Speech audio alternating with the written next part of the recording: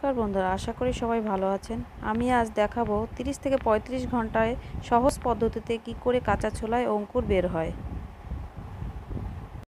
এই অঙ্কুরিত ছোলা বানানোর জন্য আমি এখানে দুশো গ্রামের মতো কাঁচা ছোলা নিয়েছি, যা জল দিয়ে ভালো করে ধুয়ে পরিষ্কার করে নেব।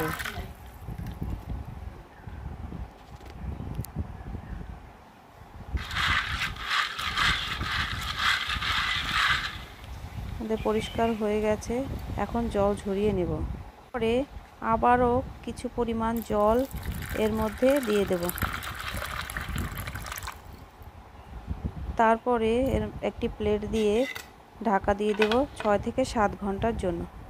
আমাদের ছয় থেকে সাত ঘণ্টা হয়ে গেছে। এখন ঢাকনা তুলে এগুলো পুনরায় পরিষ্কার করে নেব। দেখুন, ছোলাগুলো ভালো মতো ভিজে গেছে।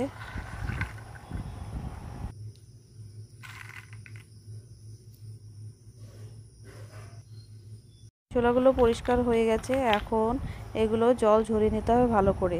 তারপরে একটি প্লেট দিয়ে চব্বিশ ঘণ্টার জন্য ঢাকা দিয়ে রাখতে হবে। চব্বিশ ঘণ্টা হয়ে গেছে, এখন ঢাকনা তুলে দেখব অঙ্কুর বের হয়েছে কিনা। দেখুন কি সুন্দর ছোলাগুলোতে অঙ্কুর বের হয়ে গেছে। আপনাদের যদি আমার এই ভিডিওটি পছন্দ হয়ে থাকে, তাহলে আমার চ্যানেলটি সাবস্ক্রাইব, লাইক এবং শেয়ার করুন। দেখা হবে নতুন একটি রেসিপি নিয়ে অন্য একটি ভিডিওতে।